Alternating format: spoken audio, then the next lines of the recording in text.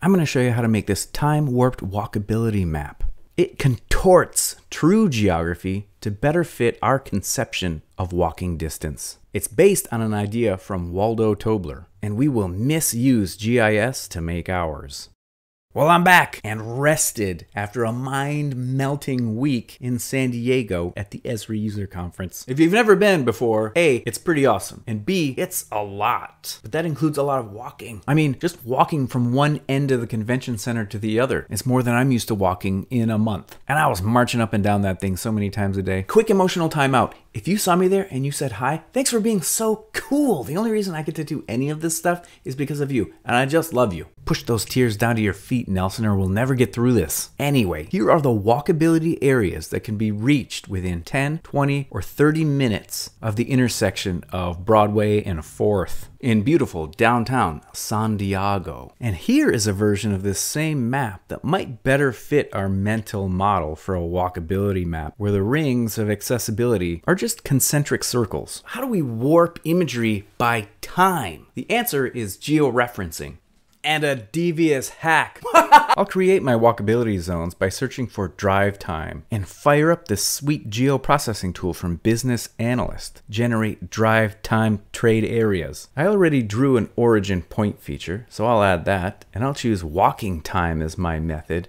and I'll add the distances of 10, 20, and 30 minutes. The results are these three concentric blobbies, approximating reasonably where I could get to within 10, 20, or 30 minutes of walking. I've created a layout and I've added my walkability blob map to it. I want to export this layout as a georeferenced image. So from the Share tab, I'll choose Export Layout and name it SD Poly, and I'll make sure to check Write World File. That georeferences the resulting image, meaning it knows where it lives geographically. And then I'll export a second version of this image, this time without my walkability blobbies. I'll name it something else and hit export. The result of all this is two georeferenced images of San Diego, one with walkability zones and one without. Okay, so I'll go back to my map and now I'm gonna add in one of these images that I just exported, the one with the walkability polygons. Next, I'll fire up the multi-ring buffer tool and around my origin point, I'll add three distances, a half a mile, one mile, and one and a half miles. There's nothing special about these distances, just as long as they're equally spaced. I came to these after some trial and error because they roughly matched the distances of my time-based walkability polygons. So to take inventory, we have this georeferenced image with walkability territories baked into it, and these three beautiful concentric rings, which I'll use as a visual reference in the next step, which is georeferencing. Georeferencing is one of those things in mapping that just brushes up against magic. You take a bitmap, a picture, a bunch of pixels, and then you tell a pixel where it belongs on the surface of the earth. If you do that to enough pixels, it can stretch and warp and fit onto true geography. You breathe geographic life into it. In college, I had a professor who called it rubber sheeting, which to me sounds gross. With my image layer selected, I'll go to the imagery tab and choose georeference. I'm going to add control points. Each control point is a two-step process. You click on the image and then you click the point on the map where it belongs. A, B, A, B. And my devious task here is to line up each walkability ring with each of my nice concentric buffer rings. My goal is to make the wobbly walkability zones as round as possible. And when I've added enough control points, I unlock a transformation type called spline. And then I'll just like save it, man.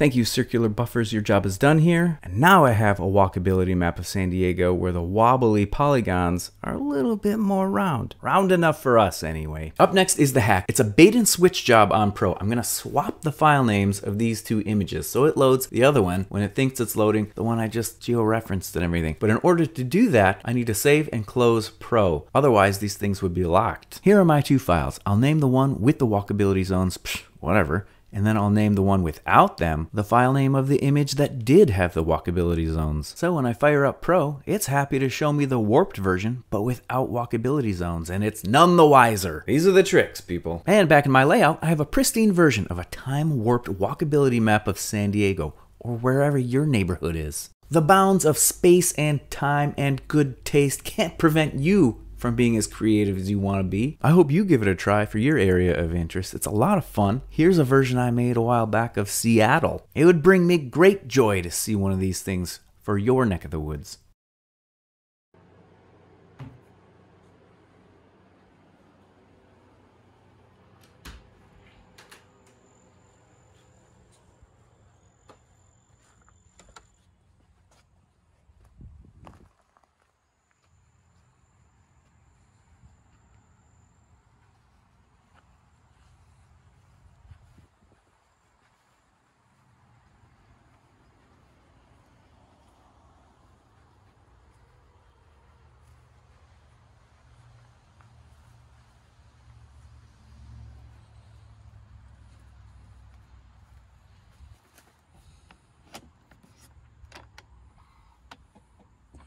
嗯。